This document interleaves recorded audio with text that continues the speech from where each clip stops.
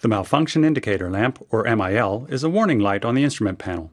It is lit up by the control unit to warn of malfunction that affects engine operation and emission control compliance.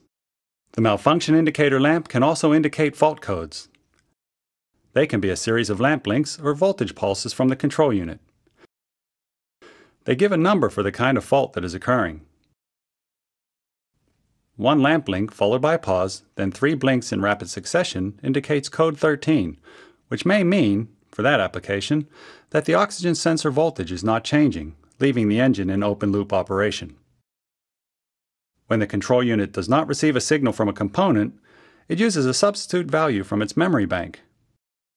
The engine may still operate near its normal level, and the driver may not realize a problem has occurred.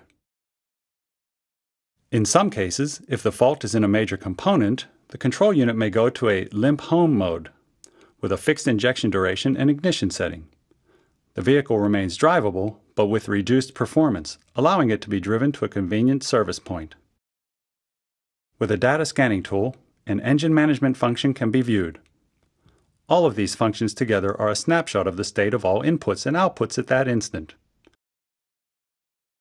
This data can then be analyzed. A control unit can use data from its memory to adjust engine settings over time. This is called adaptive learning.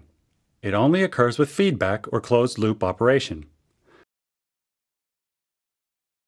This vehicle is using medium throttle, with light loading and mild acceleration. Its control unit will set fuel delivery for a specified pulse width. However, if fuel pressure is less than when the vehicle was new, Feedback from the oxygen sensor can cause the lambda control to increase injection time. The control unit learns the new time and stores it in its memory for future use in that condition.